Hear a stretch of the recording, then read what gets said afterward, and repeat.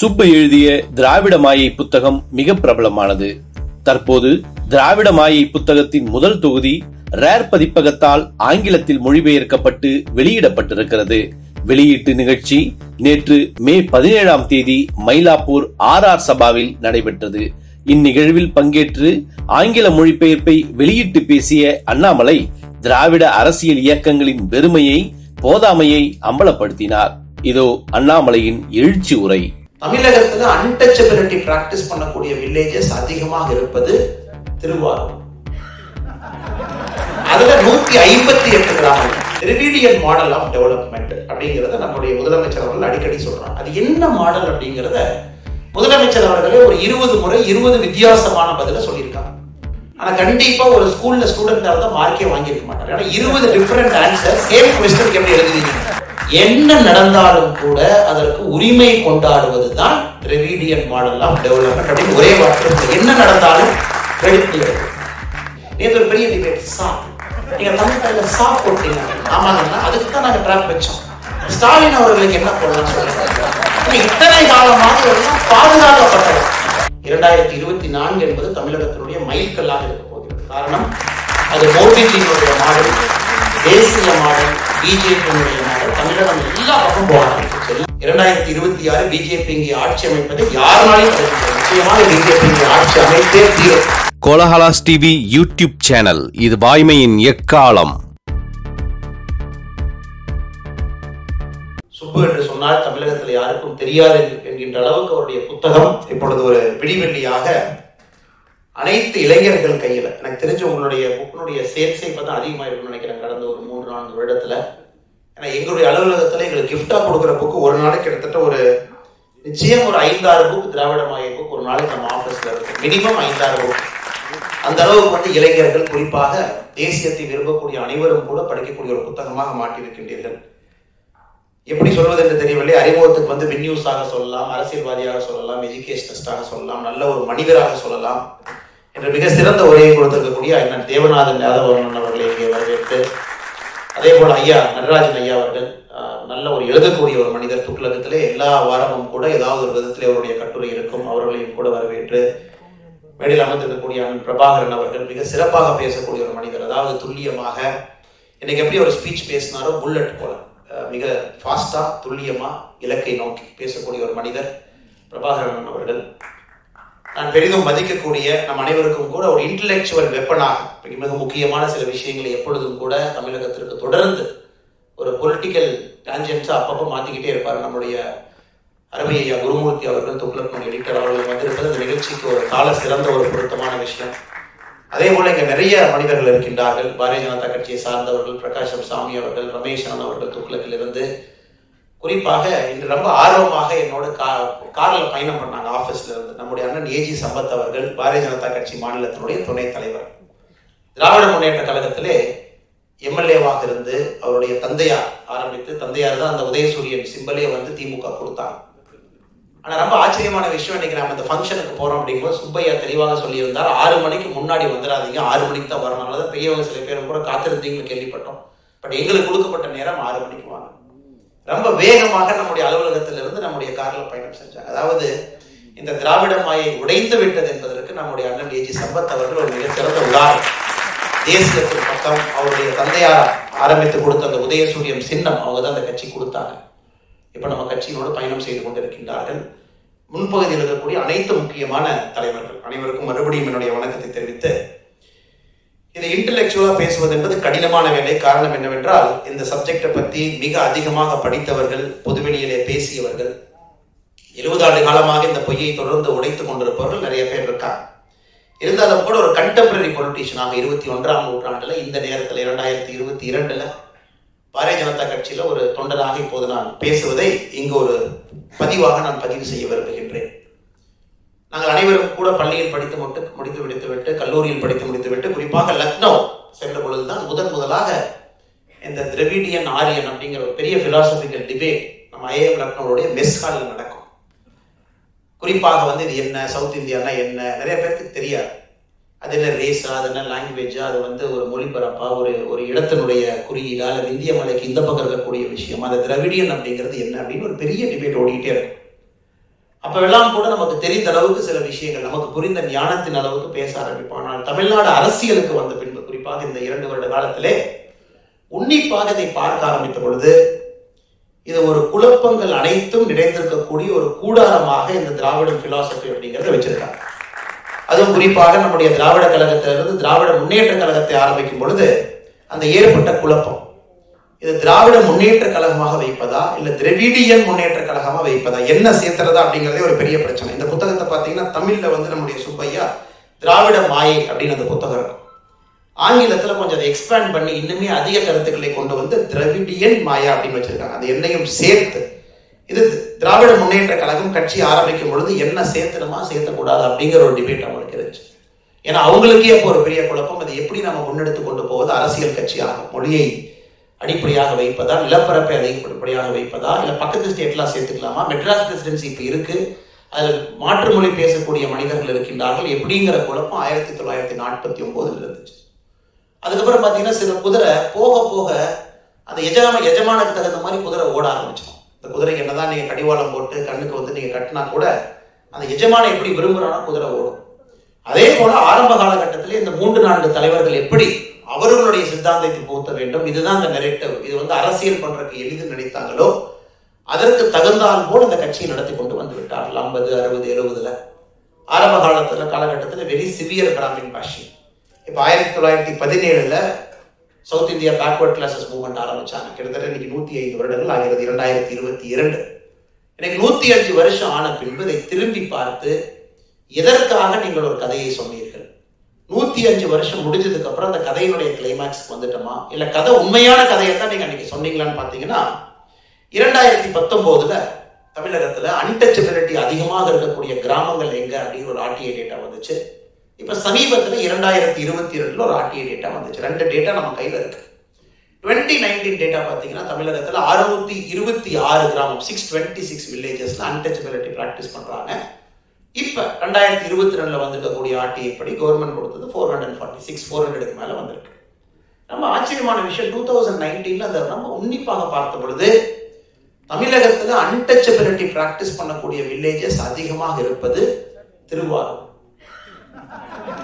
அதுல நூத்தி ஐம்பத்தி எட்டு கிராமம். அதாவது ஒரு ஆறுநூறுல நூத்தி ஐம்பத்தி எட்டு கிராமம்னா ஒன் ஃபோர்த் அதனால இந்த டேட்டா வந்தோடனே ரொம்ப கூர்மையாக பார்த்தேன். இந்த திருவாரூர் என்ன சொல்லியிருக்காங்கன்னா திருவாரூர் அவங்க ரொம்ப கேர்ஃபுல்லாக இந்த தடவை மறைச்சிருக்காங்க.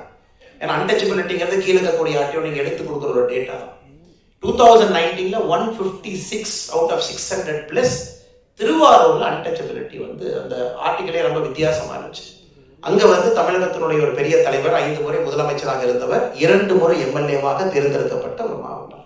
இதை மாயை என்று சொல்லவில்லை என்றால் எதை மாயை என்று சொல்லுவீர்கள்? நூற்றி ஐந்து ஆண்டுகள் ஆன பின்பு திரும்பி பார்க்கும் பொழுது என்சிஆர்பி டேட்டாவை எடுத்து நம்ம கூர்ந்து பார்த்தீங்கன்னா நைன்டீன் செவன்டி ஒரு கிளாசிபிகேஷன் நைன்டீன் நைன்டி ஒரு கிளாசிபிகேஷன் டூ தௌசண்ட் டென் ஒரு கிளாசிபிகேஷன் டுவெண்ட்டி ஒரு கிளாசிபிகேஷன் இப்போ டிஜிட்டைஸ் பண்ணிட்டாங்க பார்க்கலாம். முதல்ல இருக்கிற டேட்டா வந்து அந்தளவுக்கு ஈஸியாக கிடைக்கிறது பட் பார்த்தீங்கன்னா தமிழகத்தில் ஜாதி அடிப்படையில் ஆன கொலைகள் ஆணவ கொலைகள் caste based murder caste based violence அப்படிங்கிறது ஒரு ஒரு வருடமும் கூட அதிகமாகி கொண்டிருக்கிறதோ தவிர அது குறைந்த பாடில்லை இதெல்லாம் இவங்க சொல்ற சமூக நீதி சமநீதி ஜாதிகளை ஒழித்து விட்டோம் என்றுமே எதுவுமே இல்லை என்று என்ன சொல்லிக் கொண்டிருக்கின்றார்களோ எம்பிரிக்கலா டேட்டா பேஸ்ட் எவிடன்ஸாக அதை எடுத்து பார்த்தோம் அப்படின்னா எந்த விதத்திலும் கூட ஜாதி என்பது எங்கேயும் குறையவில்லை ஆணவ படுகொலைகள் அதிகமாகிக் கொண்டிருக்கிறது. சரி இதைத்தான் விட்டுருவோம். சரி இதை நாம் விட்டுருவோம். இதெல்லாம் பேசினாங்க அரசியலுக்காக பேசினாங்க ஜெயிச்சாங்க வந்துட்டாங்க. இப்போ தமிழ்நாட்டினுடைய டெவலப்மெண்ட் மாடல் இப்போ சமீபத்தில் பார்த்து அன்னைக்கு நம்ம குருமூர்த்தியே ரொம்ப அருமையாக பேசினாங்க துக்ளக் நிகழ்ச்சியில் திராவிடியன் மாடல் ஆஃப் டெவலப்மெண்ட் அப்படிங்கிறத நம்முடைய முதலமைச்சர் அவர்கள் அடிக்கடி சொல்றாங்க. அது என்ன மாடல் அப்படிங்கிறத முதலமைச்சர் அவர்களே ஒரு இருபது முறை இருபது வித்தியாசமான பதில சொல்லியிருக்காங்க. ஆனா கண்டிப்பா ஒரு ஸ்கூல்ல ஸ்டூடெண்டா இருந்தா மார்க்கே வாங்கியிருக்க மாட்டார். ஏன்னா இருபது டிஃப்ரெண்ட் ஆன்சர் சேம் கொஸ்டின் எப்படி எழுதுவீங்க? ஒரே கொஸ்டின் ஆனா இருபது ஆன்சர் இருபதுமே வேற வேற. இப்ப சமீபத்துல சில அமைச்சர்கள் பேசினது அந்த நிகழ்ச்சிக்கு அப்புறம் நான் கூர்ந்து பார்த்தேன். சரி குருமூர்த்தியை அதை அனலைஸ் பண்ணியிருக்காங்க. நம்ம அமைச்சர்கள் பேசினதெல்லாம் பார்ப்போம் அப்படின்னு. அதுல சமீபத்தில் ஒரு அமைச்சர் பேசியிருக்காரு.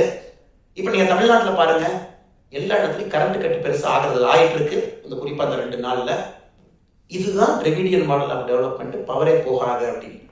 ஆனால் இதே அமைச்சர் வந்து ஒரு இரண்டு வாரத்திற்கு முன்னாடி கரண்ட் கரண்ட் கட்டிலேயே நம்ம வாழ்ந்து கொண்டிருந்த பொழுது மத்திய அரசு எங்களை வஞ்சிக்கிறது. இது ஆரியன் திராவிடன் அப்படின்னு இவரே தான் பேசினார். ஒரு ஒரு இரண்டு மூன்று வாரத்திற்கு முன்னாடி. நாளைக்கு முதலமைச்சர் பேசுவதற்காக நான் எது காத்து கொண்டிருக்கின்றேன் நாளைக்கு சொல்லுவாரு. இந்த கோடை காலத்துல நீங்க பெருசா வெப்பம் இல்லாம தப்பிச்சுக்கிட்டீங்க. திரவிடியன் மாடலா டெவலப் பண்ணாலும் மழை வந்துச்சு. நாளைக்கு சொல்லுவாங்க. அதையும் அதாவது சம்பந்தமே இல்லாம என்ன நடந்தாலும் கூட அதற்கு உரிமை கொண்டாடுவது தான் திரவிடியன் மாடல் ஆஃப் டெவலப்மெண்ட் அப்படின்னு ஒரே வார்த்தை என்ன நடந்தாலும் கிரெடிட் காசன் எஃபெக்டை பத்தி பார்த்தா எதா இருந்தாலும் இது நாங்க தான் அப்படிங்கிறது இது நடந்து கொண்டே இருக்கிறது. இதுல குறிப்பாக அதிகமாக பேசுவது நாங்கள் ஆட்சிக்கு வந்த பிறகு ஆயிரத்தி தொள்ளாயிரத்தி அறுபத்தி ஏழுக்கு பிறகு நம்முடைய மாநிலத்தை பாருங்க டெவலப்மெண்ட்டை பாருங்க இண்டிகேட்டரை பாருங்க டெவலப்மெண்ட்டு மெஷர்ஸ் ஆஃப் எதாக இருந்தாலும் நீங்கள் எடுத்து பாருங்க அப்படின்னு பேசுவாங்க. இதில் ரொம்ப ஆச்சரியமான விஷயம் சுதந்திரம் கிடைத்த பின்பு நம்முடைய நாட்டில் ஒரு பகுதியில் ரா மெட்டீரியல் இருந்துச்சு ஒரு பகுதியில் இண்டஸ்ட்ரி ஸ்ட்ராட்டஜிக்கா செய்ய ஆரம்பிச்சாங்க. இங்கே தான் இண்டஸ்ட்ரி இருக்கணும். குறிப்பாக சைனா சைனா பார்டர் ஒரு ப்ராப்ளமேட்டிக்காக இருக்குது இங்க ஒரு பார்டர் பார்டர் ப்ராப்ளமேட்டிக்காக இருக்குது இண்டஸ்ட்ரி எல்லாமே சதன் பார்ட் ஆஃப் இந்தியாவை நோக்கி நவுத்து கொண்டு போங்க. ஏன்னா நமக்கும் சைனாக்கும் ஒரு யுத்தம் நடந்தாலும் கூட அந்த பார்டர்ல எந்த இண்டஸ்ட்ரியுமே மாட்டக்கூடாது அப்படிங்கிற ஒரு ஸ்ட்ராட்டஜிக் காரணக்கோசரம் நிறைய இண்டஸ்ட்ரீஸ் வந்து கர்நாடகா தமிழ்நாடு ஆந்திர பிரதேஷ் இந்த பக்கம் ஷிஃப்ட் ஆக ஆரம்பிச்சது. அப்போ ஒரு பக்கம் ரா மெட்டீரியல் இப்போ நீங்க பாத்தீங்கன்னா சிமெண்ட் சிமெண்ட்டுக்கான எந்த ரா மெட்டீரியல் நம்மகிட்ட கிடையாது. அது ஒரு ஊர்ல இருந்து வரணும் மைனிங் ஏரியால இருந்து வரணும் ஜார்க்கண்ட்ல இருந்து வரணும் ஒரிசால இருந்து வரணும். இந்த பிரச்சனை ஆகும் பொழுது நேரு அவர்கள் அந்த ஃபர்ஸ்ட் இரண்டு மூன்று கேபினெட் என்ன கொண்டு வந்தாங்கன்னா ஃப்ரைட் ஈக்குவலைசேஷன் சார்ஜ் அப்படின்னு கொண்டு வந்தாங்க. இது மிக முக்கியமான ஒரு டெவலப்மெண்டல் இண்டிகேட்டர் சில மாநிலங்கள் இந்தியாவில் பெரிய அளவுக்கு மேலே வந்திருக்கிறது சில மாநிலங்கள் வரவில்லை என்றால் இண்டஸ்ட்ரி ரொம்ப தூரமா இருக்கு. ஆனா ரா மெட்டீரியல் பக்கத்துல இருக்கு. உலகம் முழுவதுமே பாத்தீங்கன்னா ரா மெட்டீரியல் பக்கத்துல இண்டஸ்ட்ரி வைப்பாங்க. டிரான்ஸ்போர்ட் சார்ஜ் குறைக்கிறதுக்காக. ஆனா இந்தியாவில் சிமெண்ட் கம்பெனி தமிழ்நாட்டில் இருந்தாலும் கிட்டத்தட்ட பத்து ஸ்டேட்டை தாண்டி வரும். இந்த ஃப்ரைட் ஈக்குவலைசேஷன் சார்ஜில் என்ன பண்ணாங்கன்னா பக்கத்துல இருந்து அதே கோலையோ ஒரு லைம்ஸ்டோனையோ வாங்கும் பொழுது என்ன ரேட் உங்களுக்கு வருமோ அது தூரமாக இருந்தாலும் கூட ட்ரெயின்ல கொண்டு வரும் பொழுது அதே ரேட்டுக்கு உங்களை கொடுக்க வேண்டும் என்பதற்காக ஃப்ரைட் ஈக்குவலைசேஷன் சார்ஜ் கொண்டு வந்தாங்க இதை கொண்டு வந்தது முழுவதும் ஸ்ட்ராட்டஜிக் பர்பஸ் கோசம் தூரமாக இண்டஸ்ட்ரி இருக்கணும். குறிப்பாக எந்த யுத்தத்தில் யார்கிட்டையும் மாட்டக்கூடாது. இதிலே அதிகமாக பயனடைந்த ஒரு மாநிலம் என்றால் நாம் வசிக்கக்கூடிய நம்முடைய நாம் பெருமைப்படக்கூடிய நம்முடைய தமிழ்நாடு. ஆனால் சரித்திரத்தை கூர்ந்து பார்க்கும் பொழுது நம்முடைய வளர்ச்சி என்பது நிச்சயமாக இங்கே வந்து ஆட்சியாளர்கள் காரணமா இல்ல இந்தியா என்கின்ற ஒருமைப்பாடு இருந்த ஒரு நாடு இருந்த காரணமா ஒரு ஸ்டேட் வந்து நம்ம பின்தங்கினாலும் பரவாயில்லை. ஒரு ஸ்ட்ராட்டஜிக் ரீசனுக்கோசரம் நம்முடைய மாநிலத்துல எந்த ஒரு இண்டஸ்ட்ரி செட் பண்ணாம தூரத்துல இருக்கக்கூடிய மாநிலங்களுக்கு கொண்டு போறாங்க. ஆனா நான் ரா மெட்டீரியல் சப்ளை பண்ணிக்கிட்டே இருப்பேன். ஒரு பெருந்தன்மையாக சில நினைத்த சில மாநிலங்கள் அப்படின்னு யோசிக்கணும். அனைத்து மாநிலங்களுமே சாதனை செய்திருக்கிறது. தமிழ்நாடு ஆயிரத்தி தொள்ளாயிரத்தி அறுபத்தி ஏழுக்கு முன்பும் கூட பெரிய ஒரு மாநிலமாக சாதனை செய்யக்கூடிய ஒரு மாநிலமாக நாமளே நம்முடைய சொந்த பொட்டன்ஷியல்ல வளரக்கூடிய ஒரு மாநிலமாக எப்பொழுதும் இருந்திருக்கின்றோம். அதற்கும் இப்பொழுது சொந்தம் கொண்டாட ஆரம்பித்து விட்டார்கள். நாங்கள் ஆட்சிக்கு வந்த பின்புதான் இது அனைத்தும் கூட நடந்திருக்கிறது. எங்களுக்கு முன்னாடி நடக்காது. நாங்க இல்லைன்னா நிச்சயமா அது நடந்திருக்காது. இது ரொம்ப ரொம்ப வருந்தத்தக்க ஒரு செயல். குவாலிட்டி ஆஃப் லிட்ரேச்சர் நான் சமீபத்தில் நம்முடைய பிஜேபி ஒரு இன்டர்னல் மீட்டிங்ல நாங்கெல்லாம் பேசி கொண்டிருக்கும் பொழுது நான் சொன்னேன் இந்த திமுகவை வீழ்த்துவது மிக மிக எளிமையான வேலை. காரணம் என்னவென்றால் கூர்ந்து பார்த்தீங்கன்னா டிஎம்கே என்பது நத்திங் பட் காம்பினேஷன் ஆஃப் சக்கரவி ஒரு சக்கரவியை வந்து உருவாக்கி வைத்திருக்கின்றார். அந்த சக்கரவியை சரியாக சரியா எக்ஸ்பிளைன் பண்ணணும் அப்படின்னா டிஎம்கே அப்படிங்கிறது சென்ட்ரல் இருக்கக்கூடிய ஒரு கட்சி ஒரு குடும்பம் ஒரு ஃபேமிலி இருக்காங்க. அதனுடைய அவுட்டர் லேயர் என்பது இந்த பொய்யையே தொடர்ந்து சொல்வதற்கு ஒரு பெய்டு ஏஜென்ட் போல. அது சில ஜேர்னலிஸ்டாக இருக்கலாம் சில அமெரிக்காவில் படித்த பிலாசபர்ஸா இருக்கலாம் தொடர்ந்து எல்லா மேடையிலும் மேடி திரிவிடியன் பிலாசபி டெவலப்மெண்ட் மாடல்னு சொல்லக்கூடிய ஒரு ஒரு இரநூத்தி ஐம்பது இரநூத்தி அறுபது பேர்த்து நீங்கள் ஃபில்டர் பண்ணிடலாம். கரெக்டாக நீங்கள் எடுத்தீங்கன்னா இன்டர்நெட் சர்ச்சை வச்சு மொத்தமாக ஒரு டூ ஹண்ட்ரட் ஃபிஃப்டி பீப்புள் இருக்காங்க. திரும்ப திரும்ப கிளிப்பு லைஃப்னு சொல்லக்கூடிய அவுட்டர் லேயர் அதை அந்த வெங்காயத்தை உரிக்கிற மாதிரி பெரிய வெங்காயத்தை உரிக்கிற மாதிரி ஒரு லெவல் உரிச்சிட்டு உள்ள போனீங்க அப்படின்னா அடுத்த லேயர் போனீங்கன்னா that is call the attack layer first வந்து அவங்களே சொல்ற அகாடமிக் லேயர் உரிச்சிட்டீங்கன்னா உள்ள அட்டாக் லேயர்னு ஒரு லேயரை கட்டியிருக்காங்க. இந்த அட்டாக் லேயர் ரொம்ப இன்ட்ரெஸ்டிங்கான ஒரு லேயர் யாராச்சும் சிவிலைஸ்டா ஒரு டிபேட்டை கொண்டு வந்தாங்கன்னா ஃபர்ஸ்ட் நீ கெட்ட வார்த்தையை பயன்படுத்திட்டு சும்மா இருந்துக்க அப்படிங்கிறது ஒரு அட்டாக் கிடையாது அதாவது ஆபாசமான தரம் குறைந்த ஒரு வார்த்தை ஜாதியை சொல்லி மதத்தை சொல்லி திட்டிட்டு நீ கமல் இருந்துக்க அவங்க நம்மகிட்ட பேச மாட்டாங்க அப்படிங்கிறது தான் தமிழ்நாட்டில் பல காலமாக இருக்கக்கூடிய அட்டாக் லேயர் அதாவது இன்டலெக்சுவலாகவே டிஸ்கஷனை கொண்டு வந்துடாது ஜாதியை வைத்து மதத்தை வைத்து வன்மத்தை வைத்து பேசுங்க அட்டாக் லேயர் அட்டாக் லேயர் நீங்க பார்க்கலாம். மேடையில் பேசக்கூடிய நிறைய திமுகவுடைய தலைவர்களாக இருக்கலாம். வாயை திறந்தாவே தரம் கெட்ட வார்த்தைகள் தான் வரும். அதை கேர்ஃபுல்லாக பில்ட் பண்ணிட்டாங்க ஒரு ஒரு ஏரியால இருந்து ஒரு ஒரு தலைவர்களை கொண்டு வந்து அட்டாக் லேயர் இந்த அட்டாக் லேயரையும் பெரிய வெங்காயத்தை உரிக்கிறது போல உரிச்சு எடுத்துட்டு மறுபடியும் உள்ள போனீங்கன்னா அட்டா இன்டலெக்சுவல் லேயரை உரிச்சாச்சு அட்டாக் லேயரை உரிச்சாச்சு. அடுத்து உள்ள போனீங்க அப்படின்னா இந்த குறுநில மன்னர்கள் இருக்கக்கூடிய லேயர் அதாவது ஆயிரத்தி தொள்ளாயிரத்தி அறுபத்தி ஏழுல இருந்து கேர்ஃபுல்லா அங்கங்க குறுநில மன்னர்களை வளர்த்து விட்டு இந்த ஏரியா வந்து நேர்ந்து விட்ட மாதிரி நீ பார்த்துக்க இந்த ஏரியா நீ பார்த்துக்க யாரும் வராம பார்த்துக்க திருச்சிக்கு ஒருத்தர் கோயம்புத்தூருக்கு ஒருத்தர் விழுப்புரத்துக்கு ஒருத்தர். இந்த மாதிரி குறுநில மன்னர்கள் அமர்ந்திருப்பாங்க. இந்த குறுநில மன்னர்களை பாதுகாப்பது தான் அந்த முதல்ல இருக்கக்கூடிய ரெண்டு லேயருடைய வேலையும் இன்டலெக்சுவல் சோகால் இன்டலெக்சுவல் லேயரோ அட்டாக் அண்ட் அபியூஸ் லேயரோ இந்த குறுநில மன்னர்களை பாதுகா இந்த குறுநில மன்னர்களை எந்த டிவி டிபேட்லையும் மாட்டிக்கூடாது. எங்கேயுமே வாய் திறந்து அவங்க இக்னோரன்ஸை காட்டிடக்கூடாது. எந்த மைக்கிலையும் பேசி எனக்கு ஒண்ணுமே தெரியாதுன்னு சொல்லிருக்காங்க தமிழகத்தில் இருக்கக்கூடிய பாதி குறுநில மன்னர் அமைச்சர்கள் பார்த்தீங்கன்னா இந்த மூன்றாவது லேயராக கிட்டத்தட்ட ஒரு நாற்பது ஆண்டுகளாக ப்ரொடெக்ட் செய்யப்பட்டு கொண்டு வந்திருக்கு. ஆனா இப்ப எதற்காக ஒரு ஒரு அமைச்சரும் மாட்டிட்டு முடிக்கிறாங்கன்னு பாருங்க. ஏன்னா இவங்க எல்லாமே ரொம்ப காலமாக பாதுகாக்கப்பட்ட அமைச்சர்கள்.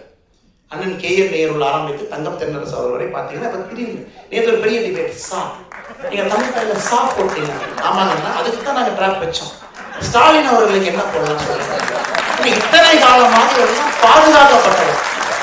இப்ப இந்த சோசியல் மீடியா வந்து ஒரு right wing ecosystem build ஆகி குறிப்பாக இங்க இருக்கக்கூடிய தலைவர்கள் இங்க இருக்கக்கூடிய தலைவர்கள் எழுத்து மூலமாக நீங்க அடிக்க ஆரம்பிச்சதே முதல் இரண்டு லேயர் உரிச்செடுத்தாச்சு. இப்ப மூன்றாவது லேயர் எக்ஸ்போஸ் ஆகும் இந்த திராவிட மாயை பார்த்தீங்கன்னா ரொம்ப பியூட்டிஃபுல்லாக இந்த சக்கரவியூ கான்செப்டை சொல்லாமல் சொல்லியிருப்பார். அவங்க எல்லாம் எக்ஸ்போஸ் ஆகிறாங்க இன்டலெக்சுவல் பேங்க்ரப்சி எந்த விஷயத்தையும் எங்கேயும் பேச முடியாத ஒரு சூழ்நிலை. எங்க போய் ஒரு நாலு பேர் ஆங்கிலத்தில் பேசினா கூட திரும்ப பேச முடியாது. இவ்வளவு பேசுறாங்க. எந்த ஒரு ஐஏஎஸ் அதிகாரிகளும் ஐபிஎஸ் அதிகாரிகளும் நீங்க டெல்லி போய் தமிழ்நாட்டு கொண்டு வாங்கிட்டு வாங்கன்னா தமிழகத்தில் இருக்கக்கூடிய தொண்ணூறு பர்சன்ட் அமைச்சர்கள் இங்க நம்ம ஃப்ளைட்டை ஏற்றி விட்டா ஏறுவாங்களே தவிர சொந்தமா ஏறக்கூட முடியாத நிலைமையில தான் இருக்கு ஏன்னா ஆங்கிலத்துல படிச்சு பேசி ஏறாங்க டெல்லியில போய் இறந்ததுக்கு அப்புறம் அபிஷியல் கார் மட்டும் ஏறி போயிடறாங்க அங்கேயும் பாத்தீங்கன்னா ஒரு டிரைவர்கிட்ட ஹிந்தியில பேசி தம்பி நாட்டுலாம் நீங்க கூட்டிட்டு போப்பாங்க அதனால அவங்களுடைய அலுவலகத்தில் இருக்கக்கூடிய அதிகாரிகளை எடுத்து விட்டு நீங்களாக தனியாக டெல்லி சென்று தமிழகத்திற்கு ஒரு ரூபாய் வாங்கிட்டு வாங்கினா தொண்ணூறு சதவீத அமைச்சர்கள் முடியாது தேர்ட் லேயர் ஒருவேளை அந்த தேர்ட் லேயரை நம்ம உரிச்சு பிதுக்கி எடுத்துட்டு பெரிய வெங்காயம் மாதிரி ஃபோர்த் லேயருக்குள்ள போனீங்க அப்படின்னா அதற்குள்ள இந்த குடும்பம் ஒழிந்து கொண்டிருக்கிறது. ஏன்னா அந்த குடும்பத்தை பாதுகாப்பது இந்த குறுநில மன்னர்களுடைய வேலை. குடும்பம் அங்கங்க இந்த குடும்பம் பார்த்தீங்கன்னா இந்த திரவீடியன் மாயை பிலாசபிக்கு தினமும் கூட ஒரு வாழுகின்ற உதாரணமாக இருக்கின்றார்.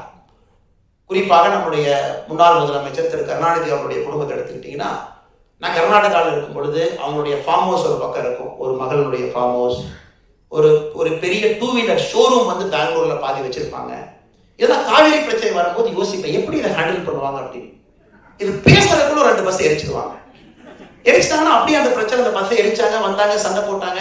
இந்த பக்கம் ரெண்டு தமிழ்காரங்க வீட்டை அடிச்சிட்டாங்க அந்த பக்கம் அடிச்சிட்டாங்கன்னு சொல்லிட்டு அடுத்த லேயர் போகாமையே ரொம்ப கேர்ஃபுல்லாக மெயின்டைன் பண்ணி கொண்டு வந்து கொண்டிருக்கின்றார். அதை பார்த்தீங்கன்னா அவங்களுடைய பிஸ்னஸ் கன்சர்னோ அவங்க நடத்துகின்ற நிறுவனங்களோ அவங்களுக்கு வெளியே இருக்கக்கூடிய டையப்போ இன்டர்நேஷனல் லெவலில் இப்போ அவங்க ஆரம்பித்திருக்கக்கூடிய மணி லாண்ட்ரிங்கோ இதெல்லாமே பார்த்தீங்கன்னா அந்த அந்த நான்காவது லேயராக உள்ளே ஒளிந்து கொண்டிருக்கக்கூடிய லேயர் அதையும் உரிச்சு எடுத்துட்டீங்க அப்படின்னா உள்ள வந்து கோபாலபுரம் அமர்ந்திருக்கிறது. அந்த கோபாலபுரத்தை பெரிய வெங்காயத்தை உரிச்சிட்டீங்கன்னா உள்ள ஒண்ணுமே இல்லைங்க. பெரிய வெங்காயத்தை உரிச்சதுக்கு அப்புறம் உள்ள இருக்கிற சின்ன வெங்காயத்தை வச்சு எப்படி சாப்பிட முடியும்? வெங்காயத்தினுடைய சுவையை அந்த அனைத்து லேயர் தான். அதுதான் அவர்களுடைய இது. ஆனால் இதை நமக்கு சரியான முறையில் சொல்வதற்கு பல பல காலகட்டத்தில் நிறைய நண்பர்கள் நமக்கு தேவைப்பட்டிருக்கின்றார்கள்.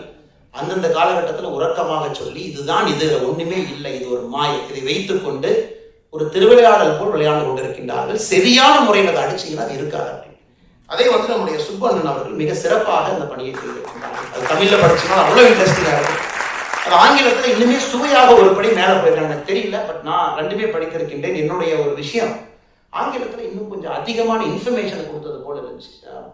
டைரக்ட் டிரான்ஸ்லேஷன் என்று சொல்வதை விட ஒரு படிக்கின்ற வாசகர்களுக்கு இன்னும் கொஞ்சம் சுவையான சில விஷயத்தை ஆட் பண்ணியிருக்காரு. இது அந்த புத்தகத்தில் இல்லையே. டிரான்ஸ்லேஷனுக்கு வந்திருக்கு அப்படிங்கும் பொழுது அவருடைய பேனா இன்னும் எழுத துடித்துக் கொண்டிருக்கிறது அதாவது இன்னும் எழுதணும்னு நினைக்கிறார். மேபி பார்ட் ஃபோர் வரலாம். ஆங்கிலத்தில் ஆங்கிலத்துல லிட்டரல் டிரான்ஸ்லேஷனோட பார்ட் ஃபைவ் வரைக்கும் போகலாம் அவ்வளோ விஷயங்கள் உள்ளே வைத்திருக்கின்றார் என்று தான் நான் பார்க்கின்றேன். அதனால் சகோதர சகோதரிகளே தமிழகத்தில் நல்ல ஒரு சூழல் அற்புதமான சூழல் இப்போ நமக்கு ஏற்பட்டிருக்கிறது. குறிப்பாக எல்லா மக்களுமே கேள்வி கேட்க ஆரம்பித்து விட்டார்கள். இது ரொம்ப சந்தோஷமான விஷயம். ஒரு காலத்தில் அரசியல்வாதி யாரு என்ன பேசணும் அப்படிங்கிறத முடிவு செய்து வைத்திருந்தாங்க ஒரு பத்திரிகையில தலையாங்கம் எழுதி அதுல அவங்களே கேள்வி கேட்டுக்கிட்டு அவங்களே பதில் எழுதி அதை காலையில நீங்க வாங்கி படிச்சு இதுதான் உண்மை என்று புரிந்து கொண்டது. அப்புறம் சேட்டலைட் சேனல் எக்ஸ்ப்ளோர் ஆகும் பொழுது அவங்களே அதையும் கண்ட்ரோல் பண்ணாங்க. நீ என்ன பார்க்கணும் அப்படிங்கறத முடிவு பண்ணாங்க. அதை தாண்டி எஃப்எம் எல்லாம் எக்ஸ்ப்ளோர் ஆச்சு. அது ஆகும் பொழுது அதையும் கண்ட்ரோல் பண்ணாங்க. சரி இதையெல்லாம் தாண்டி பிரைவேட் கேபிள் நெட்வொர்க் நிறைய இருக்குன்னு போனீங்கன்னா கேபிள் டிஸ்ட்ரிபியூஷனை கண்ட்ரோல் பண்ணாங்க. அதனால் நம்முடைய மக்கள் என்ன பார்க்க வேண்டும் என்ன கேட்க வேண்டும் என்ன பேச வேண்டும் என்பது எப்படி ரஷ்யால ஸ்டாலின் அவர்கள் கண்ட்ரோல் பண்ணி வச்சாங்களோ அதே போல தமிழ்நாட்டில் கூட பல காலமாக கண்ட்ரோல் பண்ணி வச்சிருந்தாங்க ஆனால் சோஷியல் மீடியா வந்த பின்பு அதை உடைத்து விட்டார் அதெல்லாம் உடைச்சு நீ என்ன வேணாலும் டிவியில போட்டுக்க. அதுக்கு முன்னாடி நியூஸ் எனக்கு இதில் வருது ட்விட்டர்ல வருது ஃபேஸ்புக்ல வருது இன்ஸ்டாகிராம்ல வருது. ஒருவரும் அதை போய் கூகுளில் ஆராய்ந்து அதை செக் பண்ணி இது என்ன டேட்டான்னு கண்டுபிடிச்சு ஓ நீ அந்த ஜி ஸ்கொயர்னு ஒரு கம்பெனியை மாத்தி புதுசா ஒரு கம்பெனி ஆரம்பிச்சிருக்கியா? எம்ஓசியை ரெஜிஸ்டர் பண்ணதுக்கு அப்புறம் ட்விட்டர்ல போட்டுருக்கா இவங்க தான் ப்ரொப்பரேட்டரி இவங்க தான் வச்சிருக்காங்க. அதனால இது மிக மிக ஆரோக்கியமான ஒரு விஷயம். நிறைய இடத்துல நமக்கு வந்து சமூக வலைதளத்தின் மீது கோபம் வந்தாலும் கூட நிறைய பொய் சொல்றாங்க. நிறைய தவறான விஷயங்களை எழுதுகின்றார்கள் என்ற கோபம் வந்தாலும் கூட குறிப்பாக இந்த திராவிட மாயை அது வேகமாக ஒழிவதற்கு திராவிட முன்னேற்ற கழகம் அதனுடைய இன்டர்னல் கான்ட்ரடிக்ஷன் ஆங்கிலத்திலே சொல்லுவார்கள் something becomes too big to fail ஆனால் கான்ட்ரடிக்ஷன் அதிகமாக இருக்கும்பொழுது இட் கிரம்பிள் என்று சொல்லுவாங்க ஏன்னா இப்போ வந்து கான்ட்ரடிக்ஷன் ரொம்ப அதிகமாயிருச்சு அதனாலதான் ஃபார்ச்சூன் ஃபைவ் ஹண்ட்ரட்ல எந்த ஒரு பெரிய நிறுவனமும் கூட மூன்று தலைமுறையை தாங்கி நிற்காது. மூன்று தலைமுறையை தாங்கி ஒரு நிறுவனம் நிற்க வேண்டும் என்றால் அது அசாத்தியமான ஒரு வேலை. Very little companies in Fortune five hundred have stayed beyond three generation because the contradiction becomes so heavy இப்போ திமுகவுக்கு அது நடந்து கொண்டிருக்கிறது. கான்ட்ரடிக்ஷன் இஸ் ஸோ ஹெவி அவங்க எல்லாத்தையும் பேலன்ஸ் பண்ணணும் அவ்வளோ பொய் சொல்லணும் ஒரு ஒரு நெரேட்டிவை செட் பண்ணணும். அது ஒரு ஒரு நாளும் முடங்கி கொண்டிருக்கிறது. அதனால் குறிப்பாக நம்முடைய சுப்பு ஐயா எழுத்துப்பூர்வமாக இதை கொடுத்திருக்கின்றீர்கள் இதை நிச்சயமாக நீங்கள் படிக்க வேண்டும். நிறைய துணுக்கு கதைகள் சின்ன சின்ன செய்திகள் ஒரு ஒரு விஷயத்திலும் கூட அவர்கள் பேசுகின்ற பொய்கள் வந்து இதில் அப்படியே உடஞ்சி உடஞ்சி உங்கள் கண் முன்னாடி நிற்கும். அதனால தான் புத்தகத்தை பற்றி அதிகமாக புத்தகத்தை படித்து விட்டு நோட்ஸ் கொண்டு வந்திருக்க இருந்தாலும் நீங்கள் அதை படிக்க வேண்டும் என்பது என்னுடைய ஆசை. நீங்கள் அதை படிக்கணும்.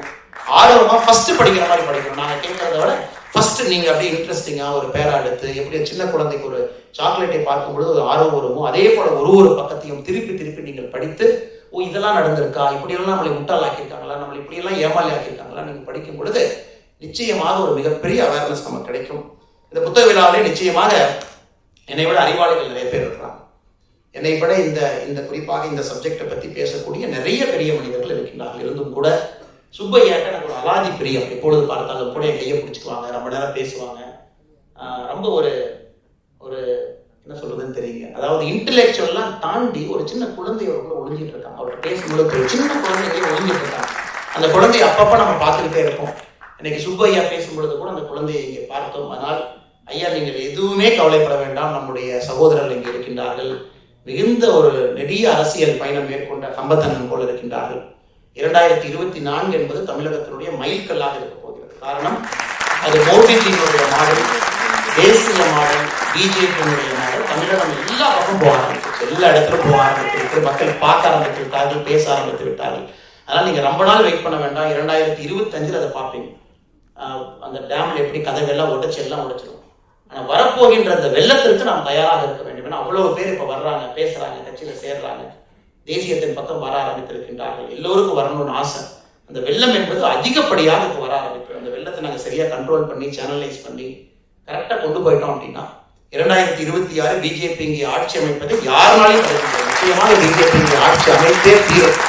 அதனால் இந்த நிகழ்ச்சிக்கு வந்திருக்கக்கூடிய அனைத்து நம்முடைய சகோதர சகோதரிகளுக்கும் கூட ஃபுல் ஹவுஸ் ஒரு புத்தக வெளியீட்டு விழாக்கு ஐபிஎல் சீசன்ல சாயந்தரமா இந்த காலத்துல இளைஞர்கள் உங்க நேரத்தை கொடுத்து இங்க வந்து அமர்ந்து கிட்டத்தட்ட ஒன்றரை மணி நேரம் இருப்பதெல்லாம் சாதாரண வேலை வேலை கிடையாது. இவ்வளவு பேர் வந்திருக்கிறாங்கவே உங்களுக்கு வந்து எவ்வளவு பெரிய ஹிட்டு எவ்வளவு பெரிய தாக்கத்தை ஏற்படுத்தியிருக்கிறது என்று பாருங்கள். வாய்ப்பு கொடுத்தவங்க அனைவருக்கும் கூட இங்கே பிரியா விடையை கொடுத்து பெரிய நன்றியை தெரிவித்துக் கொள்கின்றேன். பாரத் மாதா கி கோலஹலாஸ் டிவி யூடியூப் சேனல் இது வாய்மையின் எக்காலம்.